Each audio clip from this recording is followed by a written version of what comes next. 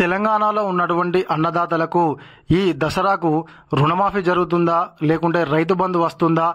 అని తెలియక డైలామాలో ఉన్నారు. కొంతమంది మంత్రులేమో ఖచ్చితంగా రైతు బంధు వస్తుంది రుణమాఫీ జరుగుతుంది అంటున్నారు. మన ముఖ్యమంత్రి గారేమో ఓన్లీ రైతు రుణమాఫీ మాత్రమే జరుగుతుందని చెప్పేసి అంటున్నారు.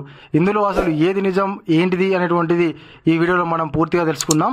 అంతకంటే ముందు మీరు కనుక మన ఛానల్ ఇంకా సబ్స్క్రైబ్ చేయకపోతే వెంటనే సబ్స్క్రైబ్ చేసుకొని పక్కనటువంటి గంట సింబల్ నొక్కండి. తెలంగాణలో ఉన్నటువంటి అన్నదాతలకు రైతు రుణమాఫీ చేయాలని తెలంగాణ గవర్నమెంట్ నిర్ణయం తీసుకొని రెండు లక్షల వరకు ఉన్నటువంటి రుణాలను అయితే ఇప్పటి వరకు మాఫీ చేశాము అని చెప్తున్నారు. మూడు దఫాలలో ఆగస్టు పదిహేను వరకు అర్హులైనటువంటి అన్నదాతలకు ఇరవై రెండు లక్షల పైన అన్నదాతలకు రెండు లక్షల లోపు ఉన్నటువంటి రుణాలను మాఫీ చేశామని చెప్పుకుంటూనే కొంతమంది అన్నదాతలకు టెక్నికల్ ఇష్యూస్ వల్ల కాలేదు. సో వాళ్ళు మొత్తంగా ఎంతమంది ఉన్నారంటే ఐదు పాయింట్ నలభై రెండు లక్షల మంది ఉన్నారు.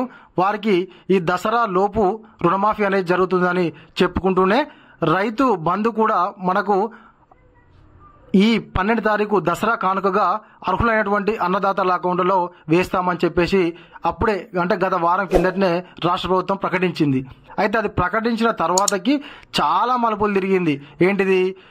ఈ రైతు బంధు ఏదైతే ఉందో అది ఏడెకరాల వరకు ఇస్తారని చెప్పేసి లేకుంటే ఐదు ఎకరాల వరకు ఇస్తారని చెప్పేసి లేకుంటే పది ఎకరాల వరకు ఇస్తారని చెప్పేసి అంటే ఒక డైలామాలో అన్నదాతలు ఎట్టున్నారంటే అసలు ఈ రైతు బంధు ఎంతవరకు వస్తుంది? అసలు వస్తుందా రాదా అనేటువంటి ఒక డైలామాలను.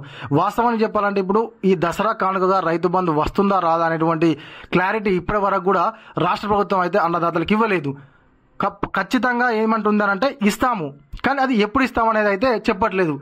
ప్రస్తుతానికైతే మనకున్నటువంటి సమాచారం ఏంటంటే ఈ దసరాకు మాత్రము రెండు లక్షల వరకు ఉన్నటువంటి రుణాలను మాత్రమే మాఫీ చేయనున్నట్లుగా సమాచారం. ఇప్పుడు ఈ రైతు బంధు కోసం కేటాయించినటువంటి మొత్తం అమౌంట్ను కూడా ఈ రైతు రుణమాఫీ కోసమే దాన్ని మళ్ళించినట్టుగా సమాచారం. మొదలేమో రైతు రుణమాఫీ మరియు రైతు బంధు రెండు దసరా లోపు అర్హులైనటువంటి అన్నదాతలకు వేస్తామని చెప్పినటువంటి ప్రభుత్వము. ఇప్పుడు మాట మార్చి కేవలం రుణమాఫీ మాత్రమే చేస్తాము. ఇంకా రైతు బంధుకు సంబంధించినటువంటి మార్గదర్శకాలు ఇంకా రూపకల్పన జరుగుతున్నాయి. ఐదు ఎకరాలకు సీలింగా లేకుంటే పది ఎకరాలకు సీలింగా అని ఆలోచిస్తున్నాము అని చెప్పేసి మళ్ళీ మాట మారుస్తున్నాయి.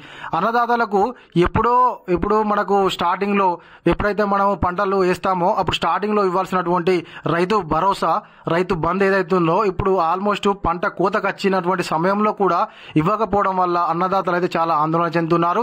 నెక్స్ట్ మళ్ళీ kharif season rabi season start అవుతుంది సారీ రబీ సీజన్ స్టార్ట్ అవుతుంది. రబీ సీజన్ స్టార్ట్ అయ్యేటప్పటికి కూడా మనకు అసలు ఈ రైతు భరోసా అనేటువంటిది వస్తుందా రాదా? అంతకుముందు గత ప్రభుత్వం అంటే కనీసము ఐదు వేల రూపాయలనైనా ఇచ్చేది. ప్రస్తుతం ఉన్నటువంటి ప్రభుత్వం ఏడు వేల ఐదు వందలు ఇస్తా అన్నది అసలు ఆ ఏడు వేల ఐదు వందలు లేవు. మనకు అంతకుముందు వచ్చేటువంటి ఐదు వేల రూపాయలు కూడా మనకు రాలేదు. రైతు బంధు ఇవ్వకుండానైతే అన్నదాతలు రోడ్డెక్కి ఆందోళన చేసేటువంటి పరిస్థితులు ఉన్నాయి. ప్రస్తుతం కూడా ఇప్పటికీ అన్నదాతలు అయితే చాలా మంది రుణమాఫీ కాక రోడ్ల మీద ధర్నాలు రాస్తారోకోలు చేస్తున్నారు. సో ఏంటంటే గవర్నమెంట్ అయితే ఏదైతే నిర్ణయం తీసుకుంటుందో అది పకడ్బందీగా నిర్ణయం తీసుకున్న తర్వాతకే ప్రకటించాలని చెప్పేసి అన్నదాతలు చెప్తున్నారు.